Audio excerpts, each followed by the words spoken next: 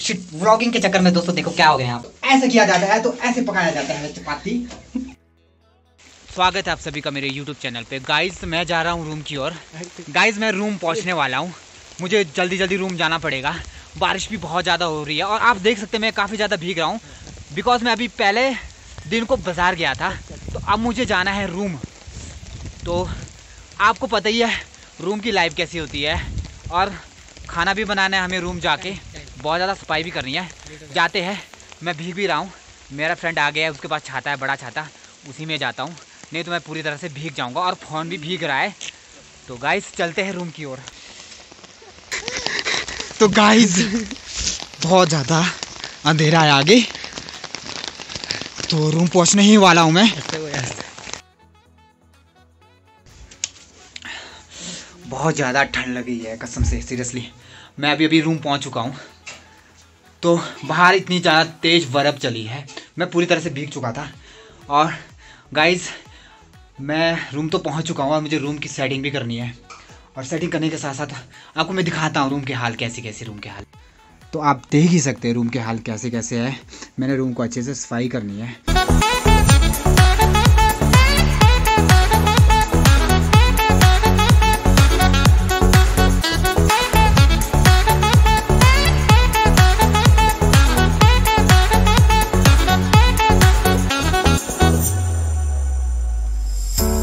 Finally साफ़ सफ़ाई भी हो गई है।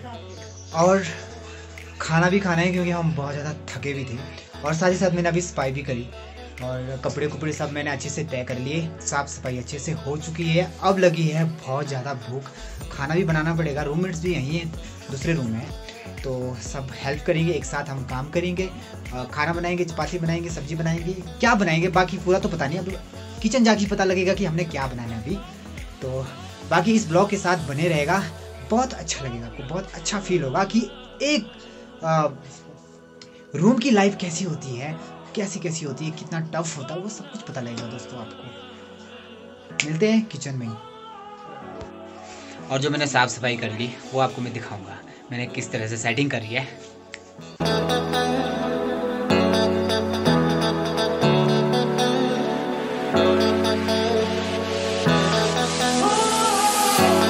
गाइस फाइनली हम रूम पहुँच चुके हमें भूख बहुत ज़्यादा लगी थी। तो हम यहाँ पे तड़का भी लगा रहे हैं, हम शिमला मिर्च बना रहे हैं, आलू बना रहे हैं, पनीर बना रहे हैं। तो फ़िलहाल मैं साथ में चपाती भी बना रहा हूँ और चपाती को हम पकाएँगे। तो ऐसे किया जाता है तो ऐसे पकाया जाता है चपाती। अभी तक मैं चपाती में ना आटा भी गूंदा था।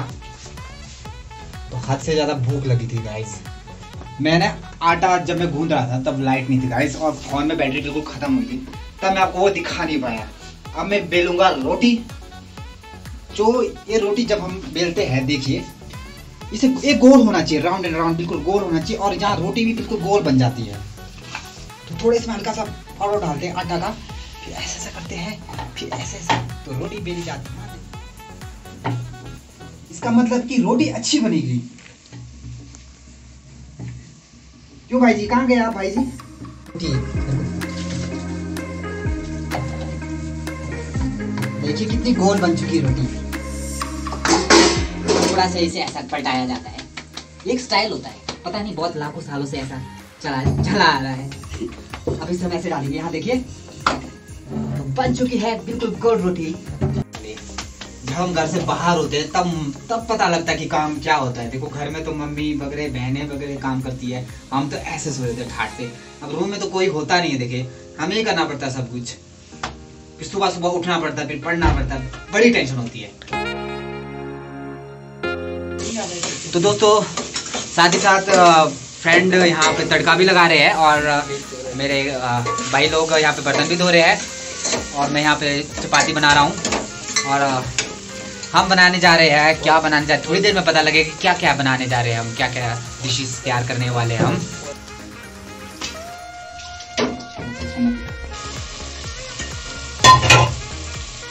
हमारी ये रोटियाँ, हमने यहाँ पे रोटियाँ रखी है। आप देख ही सकते हैं हमारी रोटी, और हमने शिमला मिर्च कटी हुई है, काटी हुई है, और यहाँ पर तड़का तैयार हो रहा है। जिसमें हम बनाने जा रहे हैं, वो कुछ देर में आपको बताऊँगा। तो देख सकते हैं दोस्तों फ्राइड राइस तैयार हो रहा है, और लाइट चला वो यार, मैंने रोटी भी तो रखी थी। व्लॉगिंग के चक्कर में दोस्तों, देखो क्या हो गया यहाँ पे। ओ यार सॉरी मैं, मेरा ध्यान नहीं था, मैं आप लोगों को फ्राइड राइस दिखा रहा था तो मेरी रोटी जल गई। ऐसा कब, पहली बार हुआ ऐसा सीरियसली क्या क्या नहीं करना पड़ता एक ब्लॉग बनाने के चक्कर में? मेरा ध्यान फ्राइड राइस की ओर था। मेरे मुँह में पानी आ रहा था और मैंने रोटी देखी ही नहीं।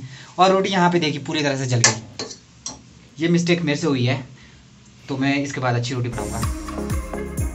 मैं फ्राइड राइस चेक कर रहा हूँ। इसमें नमक ज़्यादा है या कम है? अब मैं इस फ्राइड राइस को चेक करता हूँ।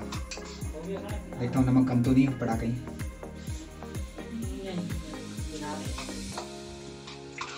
हल्का सा कम है नमक बाकी मार्क से सीरियसली बहुत अच्छा बना फ्राइड राइस गाइस नमक थोड़ा सा कम पड़ गया था मैं हाफ़ स्पून इसमें नमक डाल रहा हूँ इससे स्वाद और अच्छा आएगा और भूख भी बहुत लगी है और बाहर तो आपको पता ही है सर्दी का मौसम है बाहर बहुत ज़्यादा ठंडा बर्फ़ भी आ रही है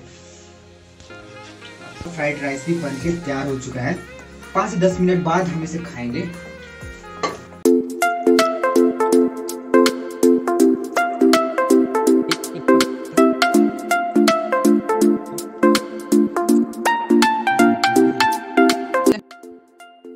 फाइनली गाइस आज का ब्लॉग यहीं पे ख़त्म होता है। बाहर बहुत ज़्यादा बर्फबारी हो रही है। मैं फ्लैश लाइट से काम चला रहा हूँ। देखो लाइट चली गई है। तो मैं अपने ब्लॉग को यहीं पे ख़त्म करूँगा।